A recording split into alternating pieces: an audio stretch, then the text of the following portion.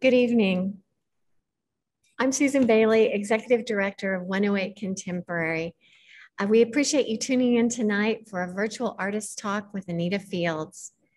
I know we're all experiencing a little bit of Zoom fatigue, but this is the safest way to have this event tonight. Um, please keep in mind that we will be um, asking for questions at the end of the presentation. So if you can put those in the, in the chat uh, box along the way, we'd appreciate it. And then Anita will uh, uh answer your questions at the end. Since 2013, 108 Contemporary has provided exhibition space in the Tulsa Arts District for the most innovative contemporary craft from Oklahoma and around the world. We're proud to continue on this path by presenting The Space Between with work by Anita Fields and Molly Murphy Adams through November 21st. So many organizations and individuals have believed in this project and have patiently waited for it to be realized. We appreciate the Osage Nation Foundation for making a catalog publication possible through their generous financial support. Our sincere gratitude also goes out to the exhibition's presenting sponsor, Mid-America Arts Alliance, with support from the National Endowment for the Arts and the state arts agencies of Arkansas, Kansas, Missouri, Nebraska, Oklahoma, and Texas. In addition, we appreciate the generosity of the Flint Family Foundation and the Tulsa Artists Fellowship. The 108 Contemporary Board of Directors must also be recognized for their support of Oklahoma artists and contemporary fine craft. And as always, the 108 team has been invaluable in bringing this exhibition to life.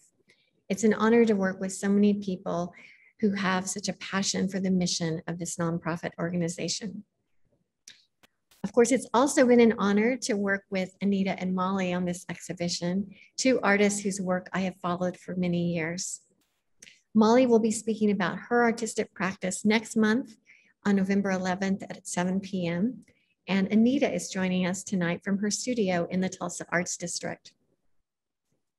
Born in Oklahoma, uh, Anita Fields creates works of clay and textiles that reflect the worldview of her native Osage culture. Her practice explores the complexities of cultural influences and the intersection of balance and chaos found within our lives. A Tulsa Artist Fellow since 2017, Anita recently received a prestigious 2021 Eiteljorg Contemporary Art Fellowship.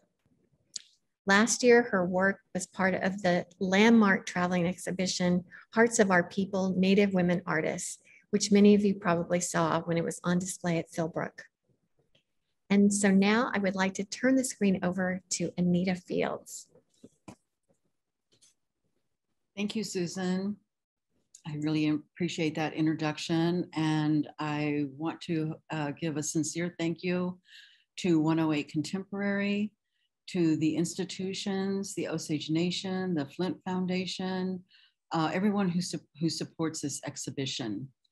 Um, you know, and being, being here in Tulsa for the past five years as a Tulsa Artist Fellowship, uh, every, every year, every exploration, every project gives me a deeper appreciation for the connections that we make, the relationship building, because it's so important for uh, our work to continue in this way. Whether you know you are the, the space or as an artist, um, these relationships and partnerships are extremely important for our missions and our work to continue in this way. Um, I also want to say that uh, I'm really grateful to Molly Murphy Adams um, to be able to exhibit with her. And this exhibit was actually supposed to happen last year and it was postponed due to, due to the pandemic. And so many of the works that I'm going to speak about tonight also, you know, were made during these times in isolation. And, and I'm going to talk about some of those uh, kinds of issues, you know, that, that came up during this time period while I was working. So, you know, I'm going to kind of just start with an overview of my artist statement so that you'll get a, an idea and a feeling for um, the work that I do and why I do it. Um, can we pull up that first image, belonging to the earth and sky? So my practice is multidisciplinary. And I engage with several mediums and techniques, but my primary focus is always clay and textiles and the combination of the two.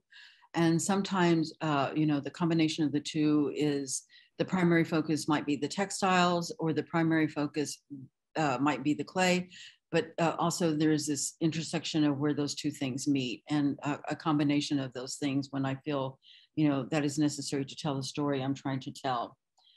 Initially, I was captivated with clay at a very young age because of its immediacy, its transformative qualities, and the endless possibilities that it affords. And I know that my affinity for textiles and creating by way of a needle and thread are directly related to being taught to sew by my grandmother when I was really young. Um, I started doing that when I was actually about six years old. In my work, uh, you'll find heavily textured layers, spontaneous mark making, and exaggerated writing. And these create surfaces, uh, the qualities on earthen forms and fabrics. The marks and impressions are the language of survival, used to deconstruct the complex layers and distortion of truths found in the colonizers' written history of the indigenous cultures. I explore the human form, variations of the body, and concepts related to the Osage worldview of order and balance. Landscapes, the environment, and the powerful influences of nature are recurring themes that you will see in my work. They reflect time, place, and how the earth holds the memory of cultures who once called a specific place home. By articulating the concepts of balance and the symbiotic relationships found throughout uh, life and nature, I hope to, under, uh, to deepen the understanding of the intersection of all living things. Influenced by the nuances of memory, experiences, dreams, social issues, and everyday encounters, I'm simply making expressions about what it means to be alive and that you know relatable moments that we can all um, understand my work signifies a continuum of thought knowledge and the essence of who we are as indigenous people living in a modern chaotic and challenging world i want to convey the beauty and the importance of other cultures and the thought that there are many ways of looking at the world so I create narratives that ask the viewers to consider other ways of seeing and being and in, a way to understand our shared experience. Uh, I'm, I'm, I'm, really, you know, hoping to dispel the many myths that surround um, indigenous cultures and Native people. Um, you know, I want them to know what, what a beautiful culture that we come from and uh, the many contributions that we have made. And because there's just a lot of misinformation out there about indigenous people in the 39 tribes who reside here in Oklahoma. This first piece um, is made out of silk. It's photo transfer on silk and it has metallic fringe and uh, satin um, at the top, satin holders for the dowel rods that, that it hangs from. This is um, actually, th this came from um, the inside of an Osage wedding coat was the first place that I utilized this imagery. And uh, you know, I, I, want to continue using that imagery to, to say certain things. So when I was talking earlier about the kinds of things, um, you know, Osage worldview, and that is recognition of the earth and the sky. On the panel that you see on the left um, um, is the Osage syllabary, the Osage uh, orthography. Uh, it says earth, and on the left, um, excuse me, I've got that. On the right is the one for earth, and on the one on the left is on this is is the sky. So this talks about uh, Osage worldview, history, and the consequences of treaties. Up there on the top, uh, in the center is an image of my great grandfather, and there are curlew uh, birds flanked on either side of him. At the bottom are oil wells and cone flowers, and there's the treaty. Um, uh, one of the there was three major treaties that kept moving us moving us from our original homelands west and then finally down into what you know Indian territory, what we know now as, as Oklahoma. Um, so this is the Treaty of 1808 and it describes, so what I'm talking about here is this massive loss of land for us. And the cone flowers are associated with cultural information. The oil wells represent the effects of oil production on Osage land. uh, and they form the bottom border. The two side panels reflect the cosmo cosmological knowledge and our relationship to the earth and sky. Um, and I felt like this was a good place to kind of begin this conversation that we're going to have tonight because so much of my work embodies this thought. Next.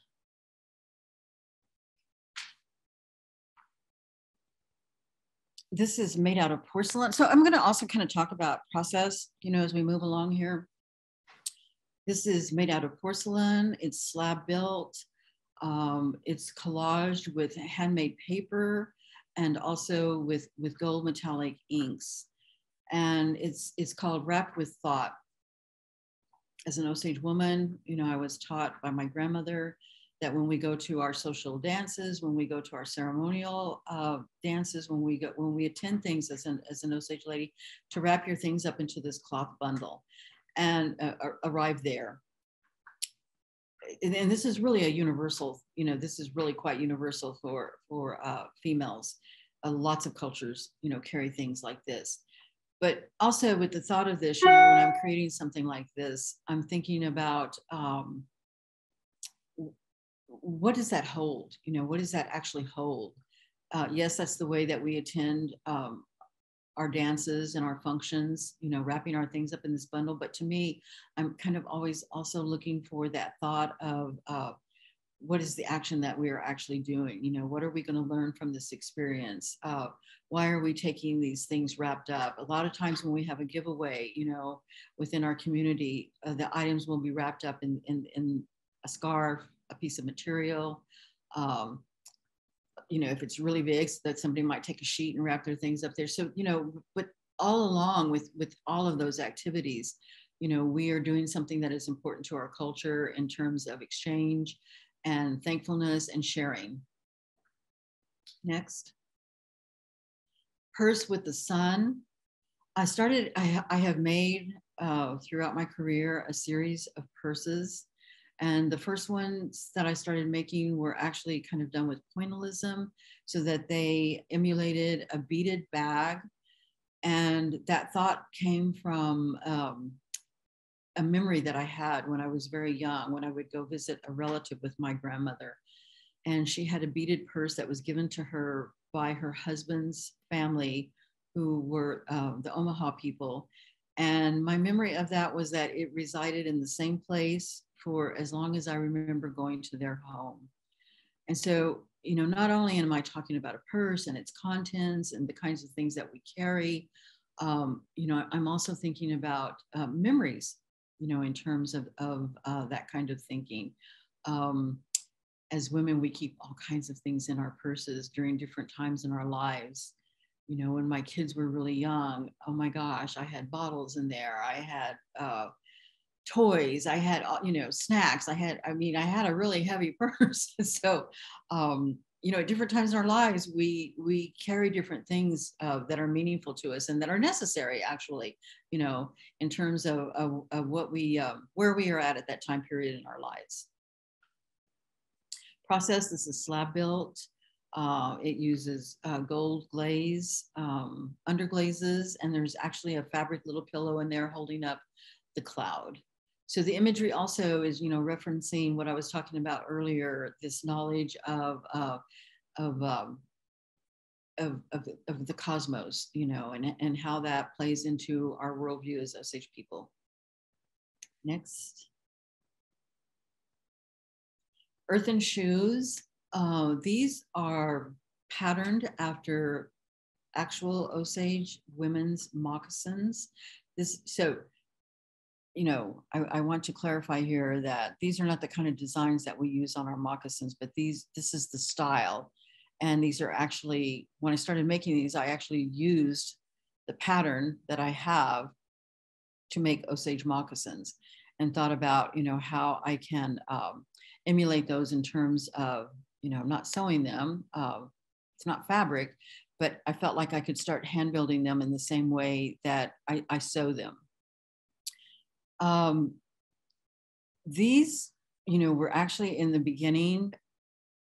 I was I was with a, a group of Osage people in a book club, and um, we were we were reading information uh, ethnography ethnography reports.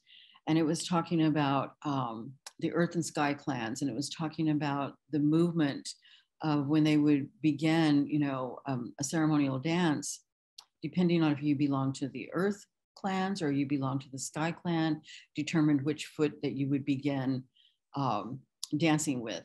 And we all kind of in that group you know looked at each other and it was kind of like the light bulb went on you know because i know when i was a really young person you know my grandmother and my aunties they would say now when you go out there and you start dancing you know start with your right foot so they would tell you these instructions but sometimes they wouldn't give you the rest of the information. And so um, we were all really you know delightfully surprised you know to hear to hear that story. And so this is kind of always the basis of what i'm thinking about when i create these.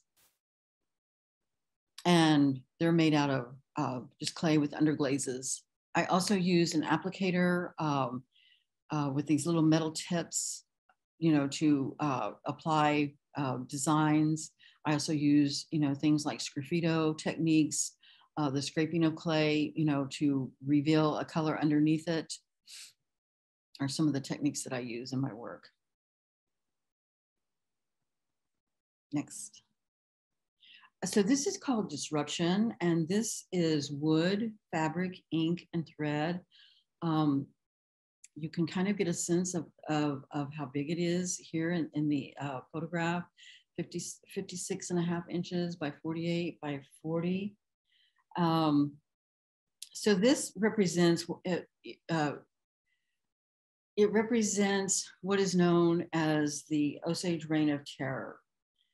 So everybody's probably familiar by now that Martin Scorsese was in Osage County filming uh, a film having to um, relating to the reign of terror. And this was, uh, this little house was made in 2017. And with the discovery of oil on the Osage Reservation in the 1920s, this brought unimaginable wealth to tribal members.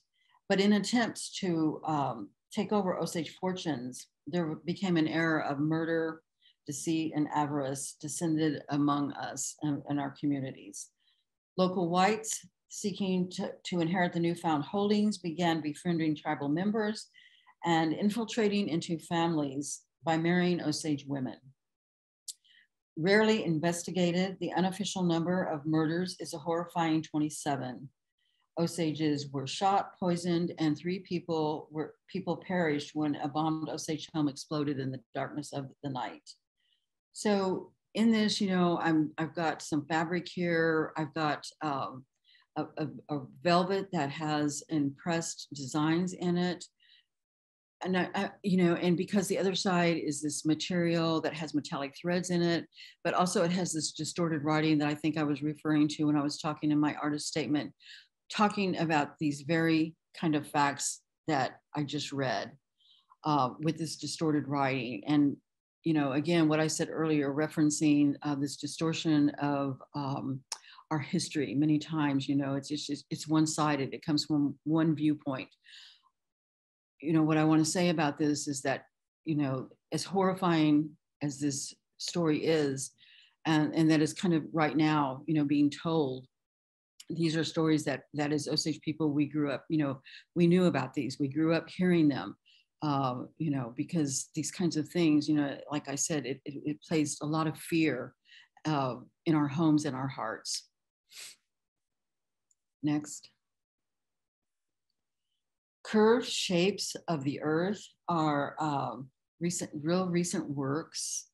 Um, and I'm going to talk about process a little bit. So these are uh, hand built, coil built, each one of them. And they are made out of porcelain clay with the, the tops of them, the stems are, are created with uh, the gold as a gold luster glaze. Uh, and then those are actual uh, clay seeds, you know, that come in, that are placed, you know, scattered about in this installation. The textures are made with uh, handmade stamps that I that I make. Um, began making these years ago when uh, throughout my travels, you know, I would find something very small and put it in my pocket and bring it back to the studio and uh, make these impressions into soft clay with it so that it became uh, a recording of um, my journey, my travels, but also it started, you know, kind of turning into a language um, that I thought of, of, of, that I was building for myself because this was reflective of where I've been and what I've seen and what I've heard. And um, I grew up as, as a young person um, listening to my grandmother was a full blood Osage lady and all of her peers and relatives. That is what they spoke to one another. So I, am very interested in my work and the idea of language and um, the, the, translations of language and uh, you know the differences in language. So the Osage language is a very beautiful language. It's it, it uh, it's been described as painting a picture many times. So I think of this language that I know within you know my artwork and the clay work and um, the fabric work that that this is the language that that that I understand as an artist. Next.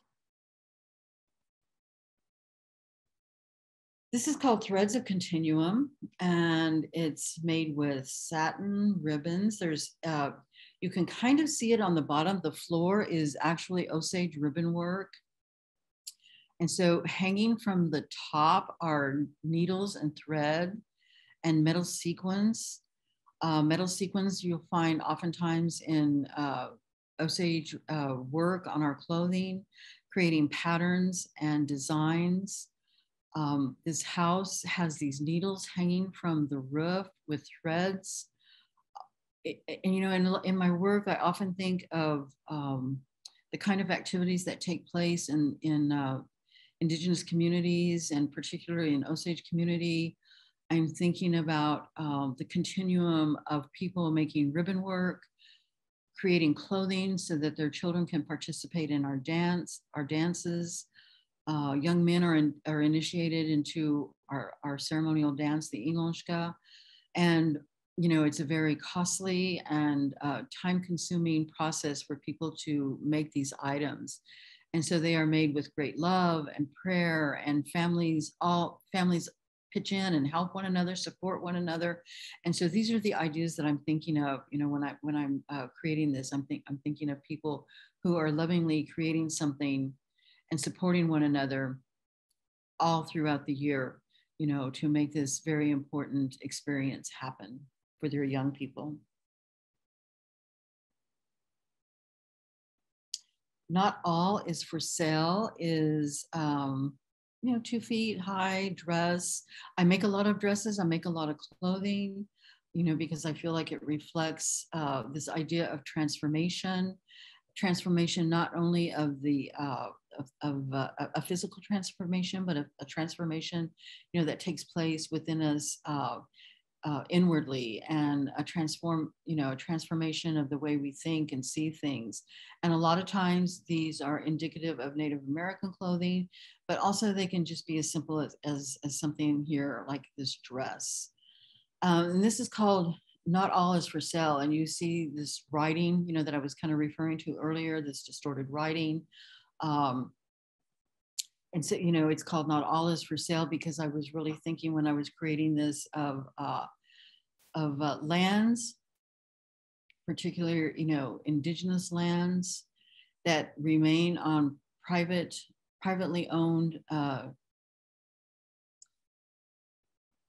I'm trying to think how I want to word this. Uh, they are actually indigenous lands and sacred sites with sacred uh, meanings and, and uh, events that happened on these on these sites, but they are in in uh, they belong on land that belongs to non-Indian people, and there is sometimes very little. There's very little to to protect them, and this is something that happened within um, uh, our nation. You know, a few weeks ago, where there's a very uh, a site that is extremely sacred and um, important, and um, it, it, it's, it's on private property. And so uh, there was an auction and this, and this land was auctioned off. And, you know, so my thought is that, that not all things are for sale. All things are not, you know, meant to be translated into, uh, into a monetary, um, they don't all have a price, you know, and who does that actually belong to anyway? So, you know, uh, there are laws protecting all kinds of issues dealing with land, uh, you know, with the NAGPRA laws, but a lot of times they fall short in terms of protecting land that is on private property. Next. To be heard. So here again, you see this impressed, uh, this is porcelain with gold leaf and gold luster glaze, a megaphone, um, and it's, you know, it's called, it's titled To Be Heard. Um, I think it's, you know, it's just really important to acknowledge uh, the voices, the many voices that we are hearing, you know, come, uh, standing up, st standing out front, talking about, you know, the rights, talking about, you know, um, all kinds of issues, you know, and, and, and primarily this began, you know, I mean, this has always been there, but, but, you know, it, it, it, it was amplified during the pandemic, um, you know, of, of people standing up for, you know, these different rights. And, you know, I think it's just really important that we acknowledge that, uh, you know, people need to be heard. And this is what I was kind of talking about earlier in my statement, you know, when I was talking about there are all kinds of ways of looking at things, you know, issues that surround us. Uh, this is a series called Move Forward, and there are six of these. They are mixed media collages. They are made with thread, paper, cloth, inks, paints, metal sequins. They, each one of them has um, archival uh, facsimiles of archival documents. And those documents actually come out of research that I did at, at the Gilcrease Museum. And these are uh, documents that are, um, trying to find my thing here.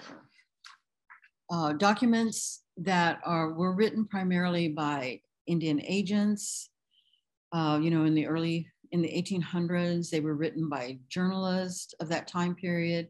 They were written by shopkeepers. Uh, and, you know, I, I, I, I, found it interesting that, again, you know, when I'm talking about um, this, this, these misconceptions and this, this one way of looking at things. And, um, you know one of my goals when i'm working on a series like this is is is to address those kinds of things because those words that language that were used in them is a one way street of defining how how they saw osage people. And um, you know when i'm when i'm making these i'm thinking about um, and this kind of goes back to the banners you know that i was showing earlier in the beginning is that as as as osage people our language, our art, our culture has always defined who we are. And you know, we we have a very strong sense of our identity and we know who we are. We are not defined by these kinds of words that are derogatory about us and that are are, you know, formed with misinformation. So I think we're going to go through these, you know, kind of one by one. I believe that's how we had it. Okay, so this is the first one that I made. Um, and it has this upside down figure. Uh, the figure, you know, like I was talking about earlier, is prominent in, in much of my work. And so this figure is upside down because, um, you know, this information that is that was being put out, you know, according to this document, you know, is is it, it's it's upside down. It's it's not correct. Um, so you know, when I was making this series, these are all based. Uh, the um, substrate is is a, is a handkerchief, and this is the foundation for these mixed media collages. So I, you know, I was thinking that the um, handkerchief it's something that holds our tears. It, it it holds our sorrows and our griefs. And you know, here in Oklahoma, in these blistering hot summer days, um, you know, we dab our brows and our face with a with a with a handkerchief and I remember my Eco, and Eco is the word for grandmother in Osage. And she would uh, tie her jewelry up into them, her rings. Uh, it was not uncommon, you know. I use the word other goodies here, but I actually saw her, you know, like put a chicken leg in there, and then she would throw that in her purse. Um, you know, she would just casually toss that into her purse. So this cloth seemed like it is fitting and suitable for a humble base to hold my thoughts about a world turned upside down and so I started this. This actually is the very first one, and and this was when we were in total isolation. This is when everything was shut down. And so in isolation, I think of what it means to withstand a pandemic and hardships. I use ink on transparent paper to record my thoughts. I tear facsimiles of historical documents found in museum archives to drive points further. Unimaginable references about an agent forcing an educated Osage into irons until he agrees to wear store bought clothing. I embroider a human form with gold metallic threads to remind myself how important it is to keep making, to keep creating. I think of the tribulations of our ancestors, their ability to move forward like the path of the sun. And we are familiar with what it means to, um, to survive and to, to keep moving forward. So in this one, there is another document. Um, the, on, the, on the left, with red and uh, on the other side of that, it's made out of sandpaper.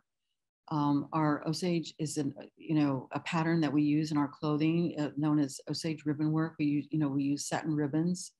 And I remember when I was creating this one that one of the, um, since we were in the middle of the, you know, the pandemic and this isolation, um, I felt it was really important to, to just use the materials that I had at hand to not be trying to, you know, send for supplies and, and you know, to have Amazon uh, deliver, you know, these these supplies to me. Um, actually, when I buy art supplies, you know, I I, I really need to see them. So um, I just felt like it was really important to, you know, to, to kind of uh, rifle through the, what I had here at my studio in terms of, and I'm, I'm a great scrap keeper, you know, so um, to just kind of utilize what I had. And so you see this, you know, this distorted writing in ink, you see it in graphite.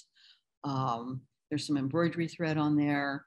And I like the idea of using that sandpaper, you know, to incorporate that into this pattern because, uh, you know, I was just thinking, you know, things can get rough at, at certain times in our lives. Next. This is the third one, and this is with uh, handmade paper, metal sequins, archival document, the facsimile, but also this, this um, metallic thread that I sewed, I sewed with my machine and, you know, arranged it into this, to this place and used, uh, used a, an agent that, that would, you know, kind of make it stiff. And so that way I was able to transfer that, you know, in, in, uh, um, as one unit into the work.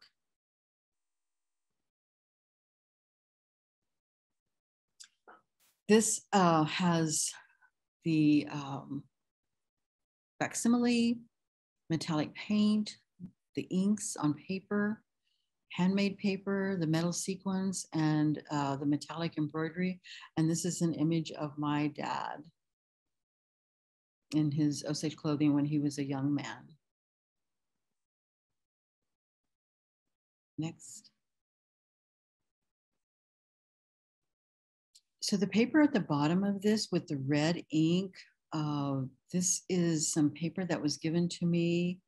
And I, I think that it's real transparent. I, I, I um, really like using papers that are transparent. Uh, and I like the idea of layering them so that you can see, you know, what is revealed underneath that.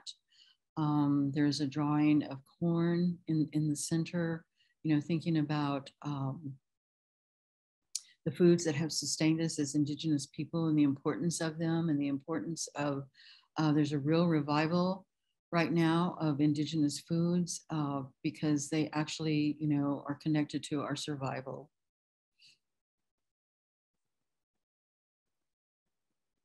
And this last one uh, has the cushaw. This was at the same time that I was hand building the uh, porcelain uh, cushaw squashes. And so this is just an extension of that kind of thought. And again, you know, that importance of this kind of food that has sustained us as, as Native people and um, how, you know, that we still, this, this, we still continue that use of these foods.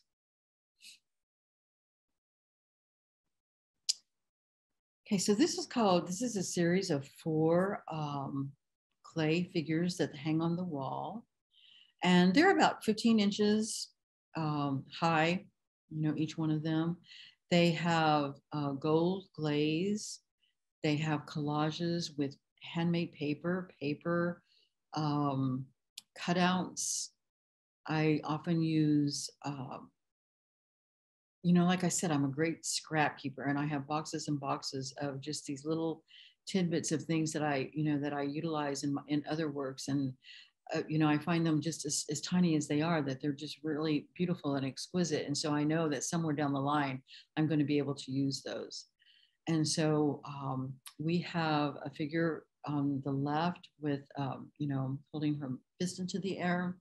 We have a figure next to that, you know, as we move along to the right with a, um, a bandana on her face. Uh, and also she has, uh, and the collage around her waist is um, a snake making a reference to Standing Rock, to the movement up there to, to stop uh, the, the flow of oil. Um, we have a figure next to that. And then we also on the end, we have another figure that is uh, has a bandana around their face. And so, you know, process wise, I hand build these and with three or four different methods. I coil build, I, I, I just, you know, kind of form and shape them uh, with, with the, uh, I make their legs separately and their arms separately. I make the body, uh, you know, I pinch it out until, you know, it's something that I'm satisfied with and then letting those, you know, the stages of clay, you know, to to come to a place where I can start assembling them together. You know, one of the things that I was thinking about when I was creating these is, um, you know, these movements that I was talking about earlier in terms of uh, people speaking out and you know the issues that are really important to them they're not just important to that one group you know specifically they're important to they are important to all of us you know in terms of something like uh, what was happening at Standing Rock. Um, you know, when you think of future generations and you think of um, how important it is for us to have a clean environment, because down the road, that is going to affect every single one of us. Uh, you know, the importance of having clean and healthy drinking water for our future generations. Uh, these are the kinds of things, you know, that, you know, these ideas that I think that we need to, you know, need to contemplate, you know, when we look at some of these issues that are going on in terms of, uh, of people standing up for certain rights.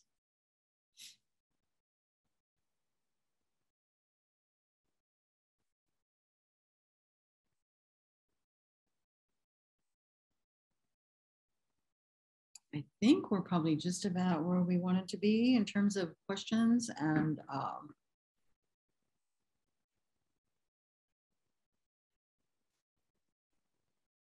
Yes, thank you so much, Anita. Um, we do have some questions from the audience, so I'll go ahead and, and start asking you those. Um, the first one is, could you talk a little more about the patterns and repetition used similar to how you use text?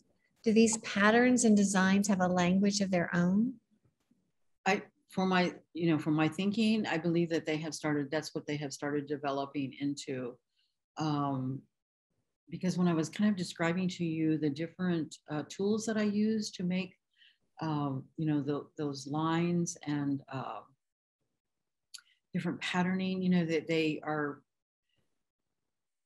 you know, they're oftentimes they are just little bitty applicators that have these uh, metal tips. And depending on how large that metal tip is that I put on it, you know, that kind of controls the flow of the underglaze or the glaze that I'm using it it uh, it controls you know the size of uh, the width for instance you know of the line.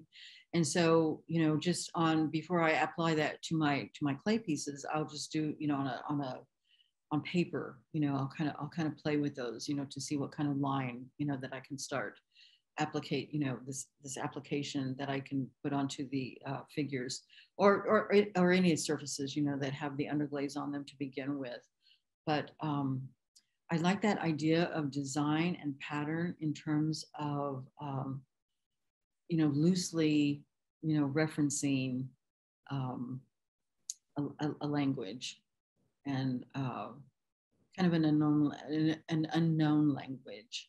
Mm-hmm. Mm-hmm. Because I could apply it with paintbrushes, you know, too, but it's going to have a very different feel about it, you know, when I do that. Okay, thank you.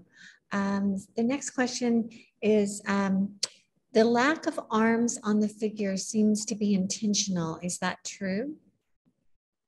Yes. So it wasn't that long ago that I actually started adding arms. Um, for a very long time, almost all of those kinds of figures, you know, did not have arms. And, and I was often asked that question, and I didn't really think of it as, as a lack of something, but I thought of it more of um, just repre- you know representation of the human yes it's a physical representation of the human body but also you know in my mind I, I, saw it more as a representation of the human spirit.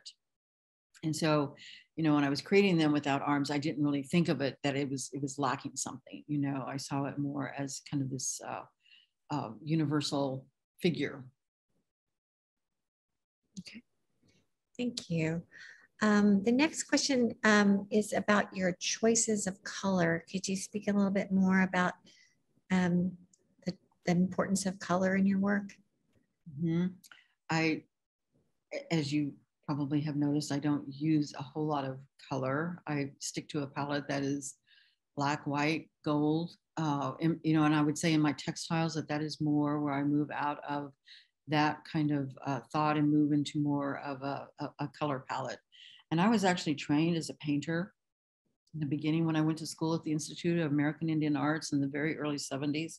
I went there to be a painter, and this was my first experience there, you know, of working with clay. And, um, you know, I found it to be uh, that my work, I felt like it was so much stronger, you know, that I, I was able to make a stronger expression of what I was, uh, you know, trying to put forth, you know, when I, when I was be able to work with this clay.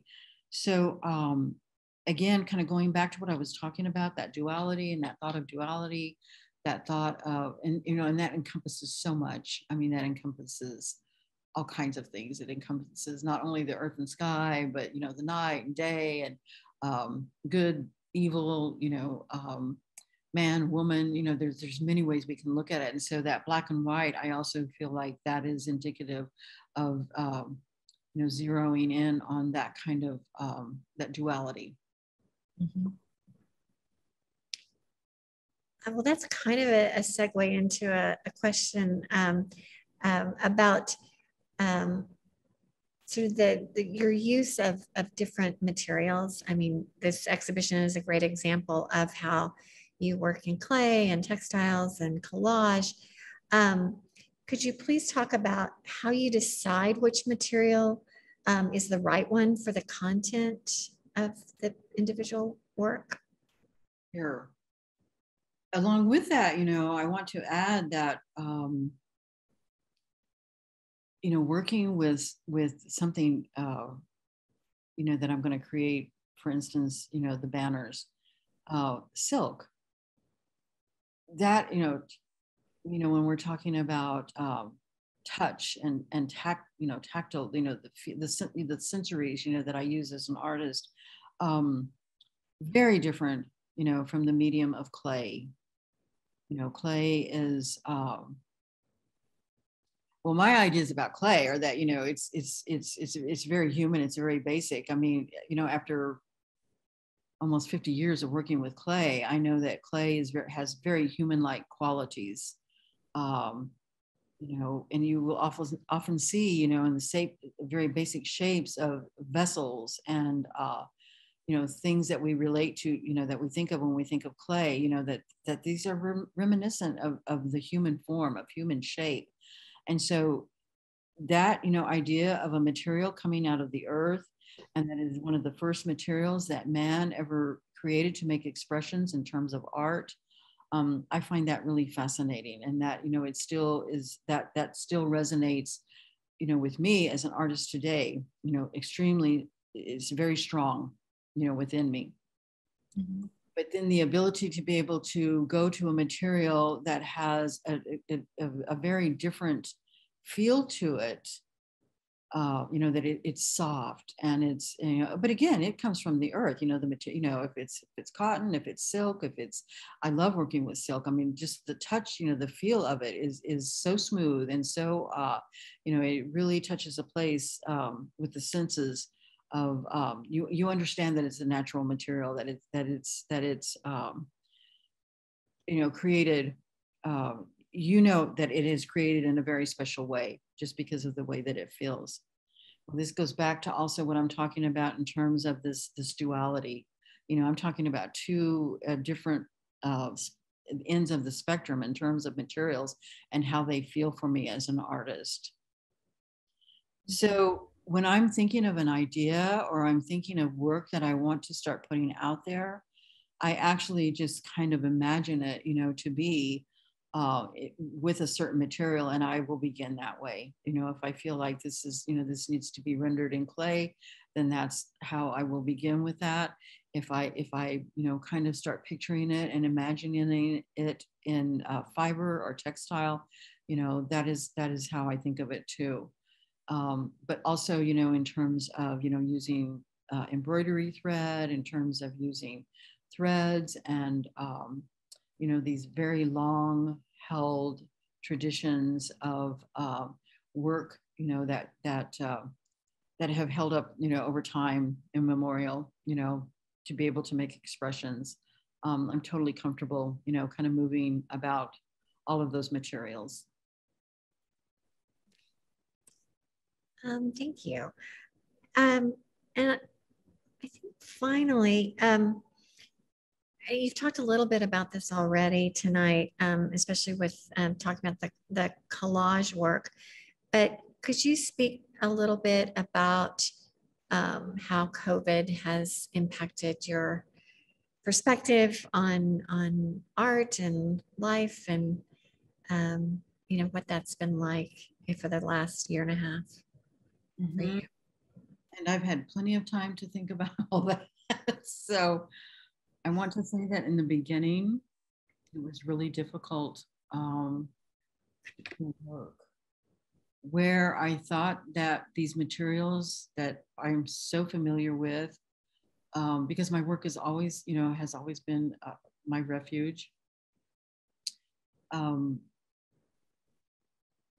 I thought I could just go to that place immediately, and you know, and it, it would make me feel better, and and that wasn't quite true in the beginning. In fact, it really surprised me. I was having difficulty. Uh, um, things weren't, you know, things weren't working. It's it's almost like my hands didn't remember. Um, when I started a couple of pieces, I remember that you know that they they they just didn't work. You know, I actually had a clay piece that just kind of fell apart in my hands. I had a fiber piece that um, felt like I didn't know how to sew anymore, that I didn't know how to, you know, manipulate my my hands and my fingers with with the needle. Um, and so, you know, I had to stop and kind of think about what was happening there. And I know that it was related to, uh, I felt like it was related to this, this, you know, this uncertainty and these moments of, um, you know, there's a lot of fear in the beginning. You know, we didn't know, uh, we, we weren't, we were informed, but we you know, there was just so much uncertainty about how this was all working. And so as time went along, you know, I was I was more able to to get back to that place where uh, I felt really comfortable, you know, with the materials that I was using. It was in the beginning kind of difficult to work in isolation.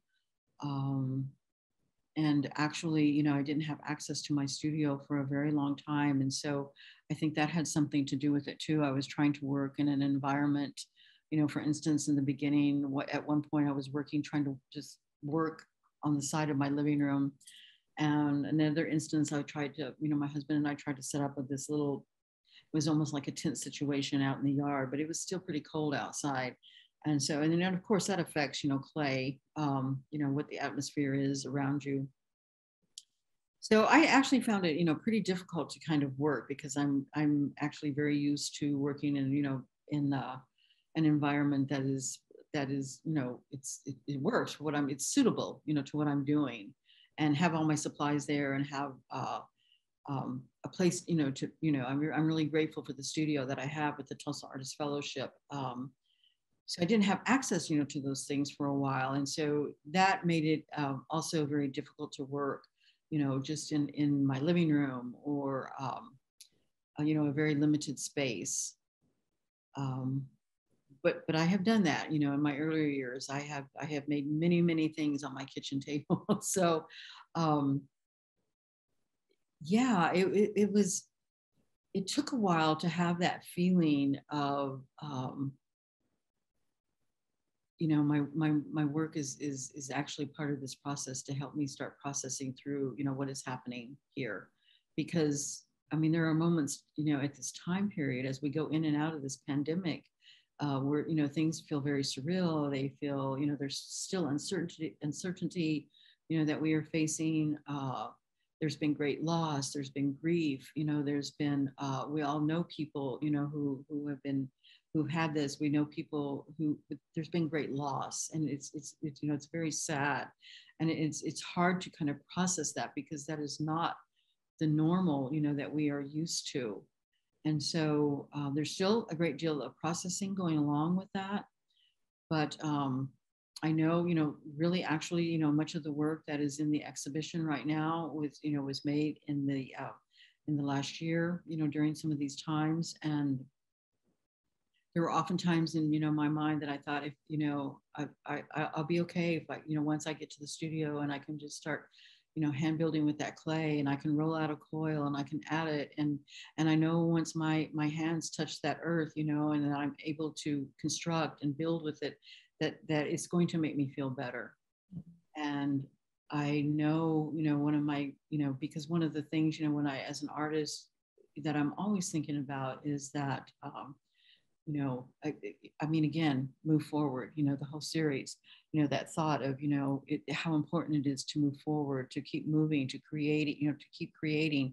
And um, you know it's it's so extremely important to to have hope to not to not give up and and to um, to have hope you know for the future. Well thank you. Um, we have so much gratitude uh, to you anita for sharing your work in this exhibition and your um, thoughts tonight uh, during this presentation. Um, I, I, don't see any further questions. Um, I'd like to encourage everyone to please come see the work in person. And um, the gallery is open Wednesday through Sunday from 12 to 5 p.m. And admission is always free. So I hope people will, will come and see the work uh, more than once. And um, I think every time you see it, you'll see something new. So um, thank you so much, Anita. This has been a, a pleasure to work with you um, this, this past two years on this um, project. And so thankful that it's finally here around us and um, we're very grateful. So yes, thank you for this opportunity. I really appreciate it. Thank you. And thank you to everyone for joining us tonight. Um, we will be posting a link um, at some point uh, with a recording of an, an edited recording uh, of tonight's uh, presentation. So uh, if you missed any of it, um, please look for that on Facebook. So thank you very much, Anita, and thank you to everyone for being here virtually. Good night. Night.